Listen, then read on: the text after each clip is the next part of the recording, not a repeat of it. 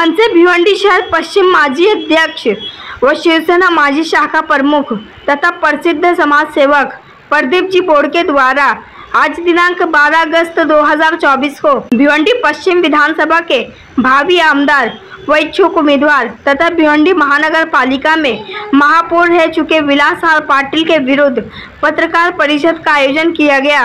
पत्रकारों से वार्तालाप करते हुए प्रदीप जी बोड़के ने माजी महापौर विलास आर पाटिल पर विकास को लेकर लगाए कई गंभीर आरोप। आइए देखें इसकी एक रिपोर्ट। मेरा नाम प्रदीप बोड़के मैं मनसे में शहर अध्यक्ष था। अभी माजी शहर अध्यक्ष हूँ। मनसे में मैंने इस्तीफा दिया हूँ किसी वजह से। भिवंडी के राजकारण में कम से कम 25 साल से मैं राजकारण में काम करता हूँ। भिवंडी के शिवसेना में आठ साल तक मैं शाखा प्रमुख भी था। उसके बाद में मनसे में पाँच साल शहर प्रमुख था। अभी तीन साल से किसी पद पर नहीं हूँ मैं, सामाजिक कार्य मेरा चालू है। आपके माध्यम से जो मैं प्रेस कॉन्फ्रेंस ले रहा हूँ, मेरे मजदूर भाई जो भिवंडी के हैं, मेरे माता बहन, जैसे मध्यम वर्गीय हो या पैसे वाले हो, सभी के लिए मैं कुछ बातें, एक रहवासी एक इधर का वतनदार बोल के, एक नागरिक बोल के मैं बताना चाहता हूँ आपके माध्यम से। गए एक महीने से भिवंडी शहर में अलग ही किस्म का राजकारण चल रहा है। जैसे हमारे जो विलासार पाटिल साहब है, हमारे कोम्बरपाड़े में, प्रभाग एक में, पाँच छः बार चुन के आए दो तीन बार नगर अध्यक्ष रह चुके महापौर रह चुके अभी वो आमदारकी के इलेक्शन में जो है, अपना नसीब आजमा रहे मैं एक नागरिक बोल के मुझे ये कहना है, क्या हमारे भिवंडी शहर को बद से बदतर हालत अगर किसी ने किए और किसी ने हमको तोहफे में दिए तो हमारे विलासार पाटिल साहब ने दिए। फिर वो ब्रिज हो, फिर वो खड्डे का साम्राज्य हो, पानी की व्यवस्था हो, अभी तो तुम्हारी टोरंट आ गई है, ये सब व्यवस्था के सत्यानाश उन्होंने किया है। और फिर वो न्यूज़ के माध्यम से आपको बुला के बताते कि एजुकेशन, ये हमारे खानदान का, हमारे परिवार का बहुत बड़ा मतलब ये मैं आपके माध्यम से बताना चाहता हूँ एजुकेशन आपका इतना बड़ा क्षेत्र है। तो गए 25-30 साल में महापालिका में आप चुन के आए हो मेन पावर आपके पास थी। तो ये चार वार्ड में हमारा गरीब 80 परसेंट गरीब एरिया है। जैसे माड़ा कॉलोनी हो गया संगम पाड़ा हो गया कोम्बरपाड़ा हो गया, बाकी गोकुल नगर अजय नगर थोड़ा पैसे वाला एरिया है। हमारे यहाँ दस बाय दस, पंद्रह के घर है। तुमने कितने मतलब वाचनालय बनाए इधर? शिक्षा आपका मतलब इतना बड़ा क्षेत्र है तो गरीबों के लिए वाचनालय कितने बनाए गरीब के बच्चों को पढ़ने के लिए, एक भी नहीं। आप माध्यम से देखो। इस कोम्बरपाड़े के क्षेत्र में कम से कम दो हज़ार, ढाई हज़ार झोपड़े महापालिका की योजना के माध्यम से शौचालय बांधने की जो स्कीम निकली थी तो लोगों ने शौचालय बांधने का काम चालू किया तो उनके गुंडे, उनके नज़दीक के लोग आके वो शौचालय घर के तोड़ने लगाए। शौचालय तक बांधने दिए नहीं। बस से बदतर हद एरिए की किए, वो विकास की बात करते। बहुत बड़ी मतलब सोचने की बात है। दूसरा विषय ऐसा है म्हाड़ा कॉलोनी, हमारे बाजू का एरिया, तुम वहाँ से चुन के आए चारों एरिया में। वो एरिया में तुमने रोड नहीं बनाए, पूरा गंदगी से भरा है साम्राज्य। तुम विकास की बात करते हो।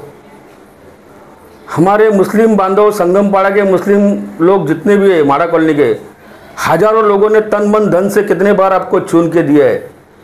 कितने मुस्लिम बच्चों को महापालिका में काम पे लगाया तुमने? हमारे जो बच्चे हैं, भाजी के टोकरे, टमाटे के थैले उड़ाने के लिए है क्या? आपके पीछे इतने ईमानदारी से काम करते हैं।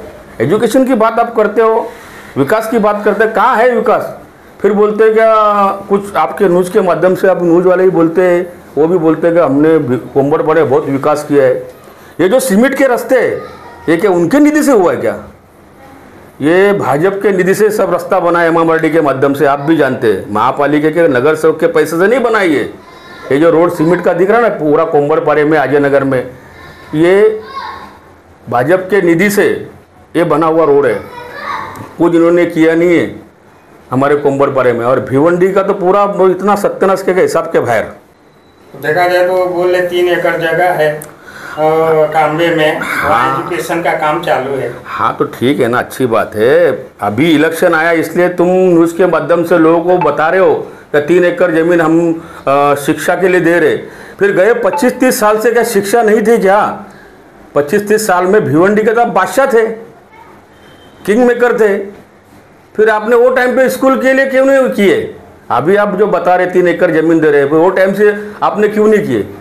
आपके पास पावर भी थी, पैसा भी था। यहाँ से लेके दिल्ली तक आपकी पहुँच है। कोई मामूली आदमी तो हो नहीं। सामान्य कार्यकर्ता तो हो नहीं। पैसा पावर सब कुछ तुम्हारे पास, वो टाइम से था क्या अभी नया आया क्या? तुम अभी दे रहे हो। वो टाइम पे नहीं क्या तुम्हारे पास? वो टाइम पे भी था ना। वो टाइम पे हमारे भिवंडी वालों को शिक्षा की ज़रूरत नहीं थी क्या? क्या तुम्हारे पैसे की कमी थी? क्या पावर की कमी थी? सब कुछ था तुम्हारे पास तब भी। सोने का चम्मच आप लेके पैदा हुए हो। लेकिन हमारे भिवंडी शहर में मट्टी का रोड तुमने दिए हो। रोड तुम्हारा खड़ी तुम्हारी डांबर तुम्हारा ऊपर चलने वाला रोलर भी तुम्हारा लेकिन तुमने सीमेंट और अच्छा डांबर नहीं दिए मट्टी दिए। चम्मच सोने का भले तुम्हारे पास है हीरे का चम्मच हो हम ऊपर वाले से प्रार्थना करते। हैं आप किस बिना पे कह सकते हैं कि रोड की मिट्टी उनकी है डामर उनका रोलर उनका है? क्या नाम है उस कंपनी का? R construction. R R construction से उनका रोलर चलता है, उनका डांबर का गाड़ी चलती है, खड़ी के देखो तुम उनके ऑफ़िस के पास लगी है, सभी उनका है ना? फिर रोड क्यों नहीं तुमने अच्छा दिए?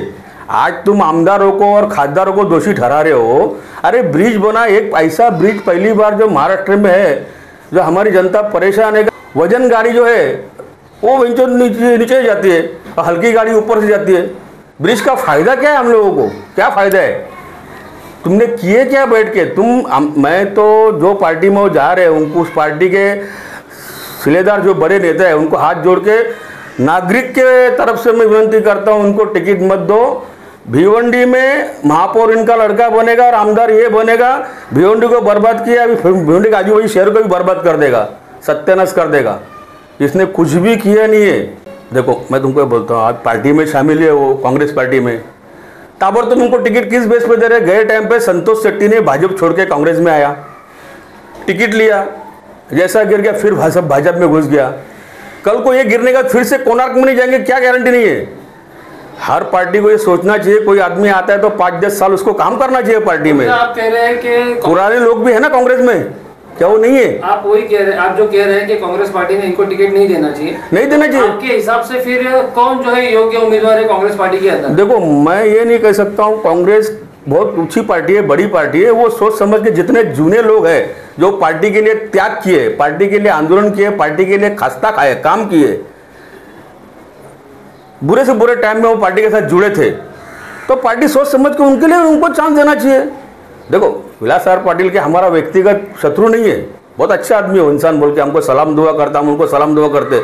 लेकिन काम के बारे में एकदम ज़ीरो है।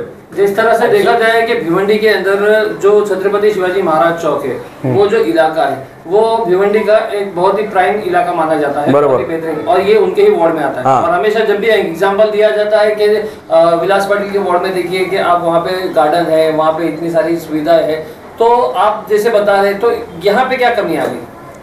ये कोम्बरपड़े में। कोमरपाड़ा हो गया या संगमपाड़ा हो गया जैसे कि अभी आप बता रहे माड़ा कॉलोनी। मैं बोल रहा हूँ ना माड़ा कॉलोनी का तुम रोड देखो ना रोड का काम आप भी जो महेश चौकरी ने उसने ओपनिंग किया समझो अभी काम चालू हो गया। इतने साल से मतलब उधर का रोड का काम हुआ ही नहीं। और दूसरा बात कोम्बरपाड़े में जो कमियाँ ये जो बैठे घर है हज़ारों घर है उसने उधर शौचालय तक बांधने दिया नहीं ना सर? मेरा ये बोलना है अपने वार्ड में शौचालय हक नहीं है क्या लोगों का? घर में बांधने का हक नहीं है क्या? तो इन्होंने बांधने नहीं दिया ना। लोग आज शौचालय में दो रुपए, तीन रुपए दे के जाते हैं। एक गरीब आदमी जो महीने का दस हज़ार कमाता है, उनके घर में चार पाँच आदमी है तो रोज का वो अगर रोज तीस रुपए उधर देगा तो हज़ार रुपये उसका जाता ना शौचालय में। जो शौचालय बाजू में है, वो तक तोड़ा गया है। पांदापुर ट्रस्ट के जगह पे जो परसोम टावर जो आमदार थे तीस साल पहले, उन्हें शौचालय बांधे थे इधर। वो शौचालय तोड़ दिए उन्होंने, उसका शूटिंग है मेरे पास। वो शौचालय तोड़ दिए लोग पानी भर के उधर आते थे, शौचालय में जाते थे। उनका पैसा बचता था। आज स्लोप शौचालय क्या कारखाना एरिया है क्या? गोडाउन एरिया है क्या? गरीब लोग, रहने वाले लोग हैं, वहाँ शौचालय जाते तुमने ये सब नहीं दिया। लोगों को एकदम हालत ख़राब कर दिया। तुमको बोलता अभी दूसरी बात सबसे महत्व की बात है, अपनी कामोरी नदी। देखो, बहुत इंपॉर्टेंट विषय है। कामोरी नदी जो अपनी मिल्लत नगर से जो आती है तो, तो आगे से आती है। मिल्लत नगर हो गया फिर तुम्हारा नदी नाका हो गया तुम्हारा माड़ा कॉलोनी हो गया तुम्हारा संगम पाड़ा हो गया फिर ऐसा घूमते घूमते आजय नगर और फिर बाद में जूना अपना ब्रिज कौन सा जूना ब्रिज? आज ये नदी एक में नदी है कामेर नदी भिवंडी शहर की।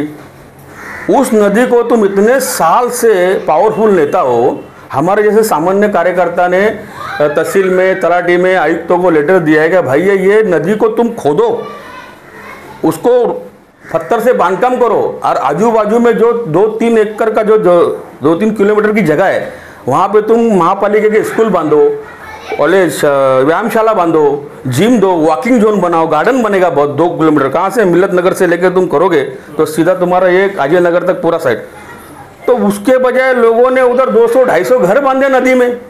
किसके आशीर्वाद से? ये भाई साहब के आशीर्वाद से विलास साहब साहब के। 200 250 घर खाड़ी में बांधे, दो दिन पानी गिरता, पूरा पानी रोड पर आता है। किसकी बदौलत है ये? तुम भिवंडी के एक बड़े नेता हो, नगर अध्यक्ष महापौर रह चुके, तुम्हारा काम है। क्या मेरे वजह से या मेरे एरिया के वजह से भिवंडी में गंदगी नहीं फैलना चाहिए? लेकिन दो दिन पानी गिरता है तो सब झोपड़े, घरे भरनी डाल के बांधे गए। तुमको रोकना नहीं चाहिए इनलीगल काम है? भिवंडी शहर में पानी आता दो दिन पानी गिरने के बाद। तो नदी खोल करके, नदी खूबसूरत बना के, तुम नहीं कर सकते थे? कर सकते हैं ना? आज हमारे हिंदू धर्म का गणपति बप्पा हो, संडास के पानी में, नदी नाले के पानी में हम लोग विसर्जन करते। तुम इतने साल से इतने बड़े नेता हो, तुम तुम सुधारना नहीं कर सकते तुम।